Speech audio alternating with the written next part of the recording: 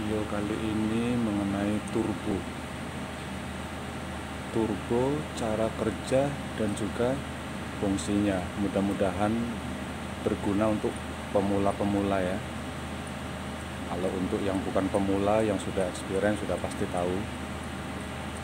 Nah, ini punya mesin kamin kamin yang bikin nah, ini mesinnya baru.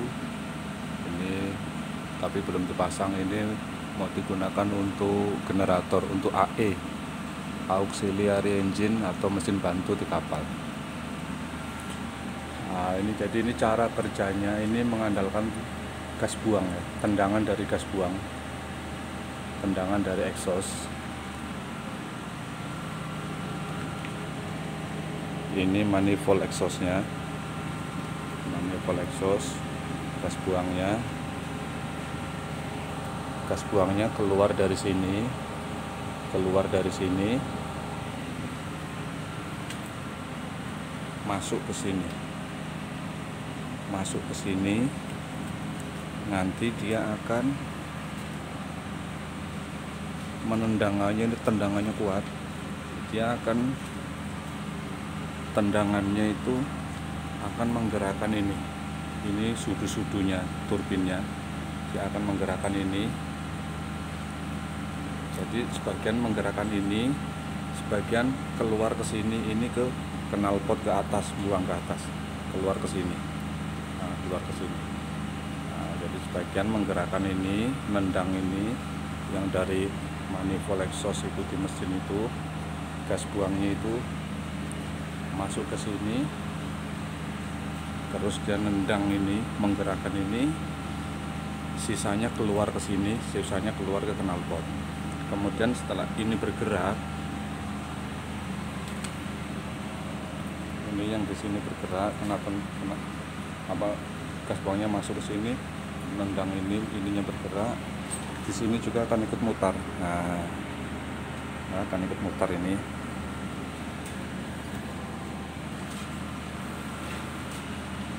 Nah ini setelah ini mutar ini nah ini yang ini ini nanti ini nyambungnya ke saringan udara ya ke filter udara ke air filter ya. Ini sap udara ini salah mutar ini sap udara nanti udaranya dari sini.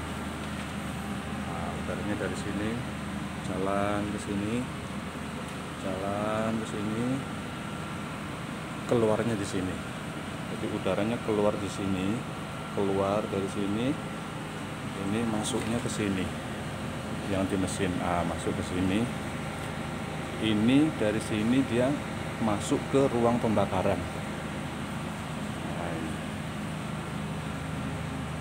nah, ini.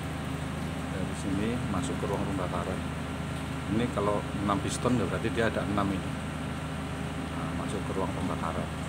Untuk menambah pernapasan menambah udara ya untuk menambah udara di ruang pembakaran. Kalau udaranya cukup, udaranya cukup, jadi dia tenaga mesin pembakarannya sempurna, bagus, tenaga mesinnya juga menjadi lebih kuat.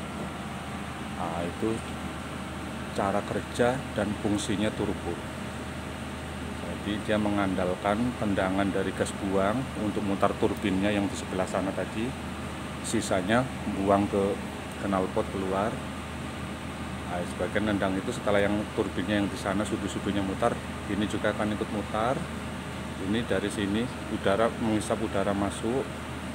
Nah, terus udaranya keluar ke sini keluar ke sini keluar masuk ke sini. Nah dari sini diantarkan ke ruang pembakaran. Ini di dalamnya juga ada filternya juga. Dari sini diantar ke ruang pembakaran untuk menambah udara di ruang pembakaran supaya pembakarannya lebih bagus, lebih sempurna dan tenaganya juga menjadi lebih kuat. Nah, itu cara kerja dan fungsinya turbo. Mudah-mudahan ada gunanya untuk pemula-pemula yang baru mengenali mesin atau mungkin belajar-belajar tentang mesin. Terima kasih.